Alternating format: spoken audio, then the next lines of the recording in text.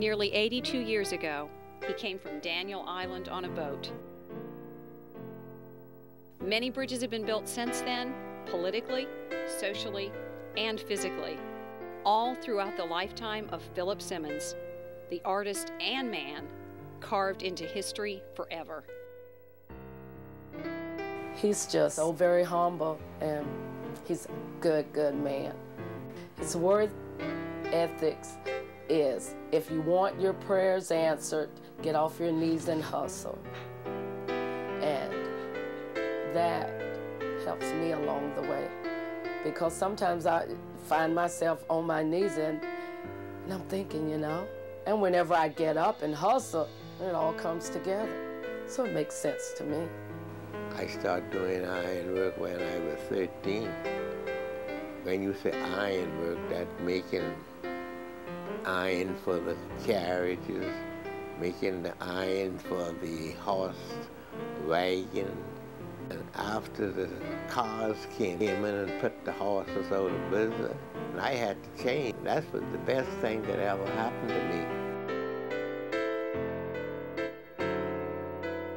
I never called myself an artist, but most of the customers come. I heard that you was an artist. Then I start thinking that way.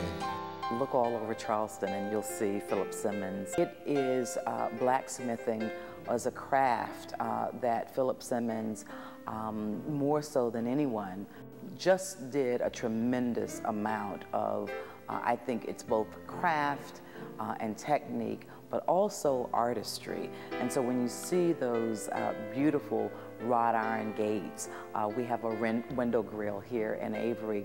Uh, it speaks both of history, but also of exquisite craft and technique and, and artistry.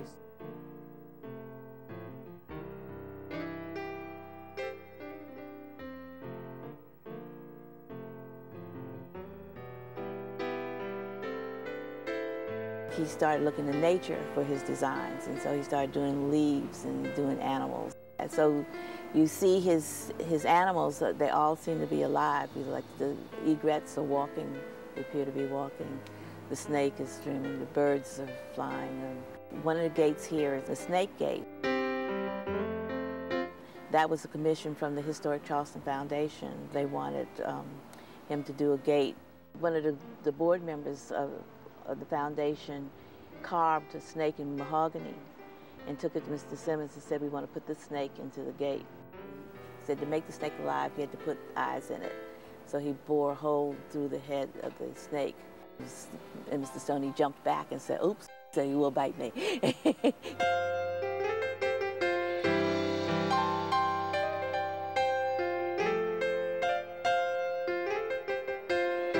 Day I shot a wrought iron gate and I thought of Philip Simmons. I mean, I felt the wrought iron, its beautiful shape, and I really did think of Philip Simmons. His, he's, he is throughout our city because a craft that that Charleston had, perhaps better than any other place. And Philip Simmons is the, uh, the living continuation of that craft. He's added immensely to the beauty of Charleston and, uh, and his work is everywhere. You see it and you feel it and uh, it's very, uh, very beautiful.